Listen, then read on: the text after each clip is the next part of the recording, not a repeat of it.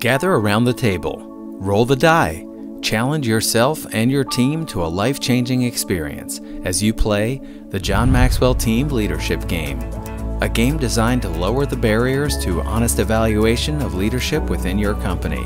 Playing the leadership game is probably one of the fastest ways to break down barriers between people on any kind of team. When I first heard that we were playing a leadership board game, I really had no idea what to expect.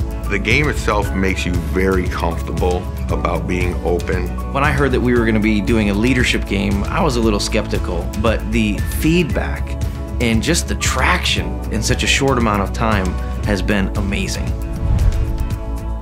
I really feel that people learn best when they're having fun.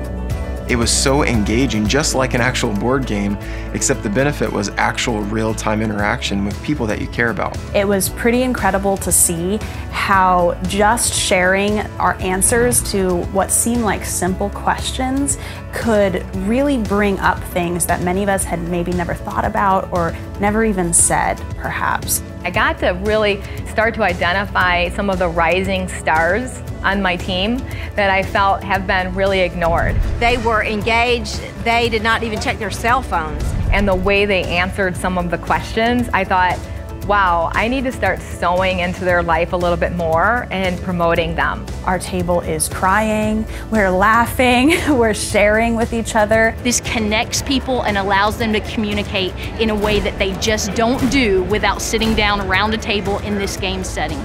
If you're considering playing a leadership game at your company, it's a must. We have never done anything like this. You have to have it for your company. It's going to help you figure out your employees, it's going to help you figure out yourself and make the right decisions in your business.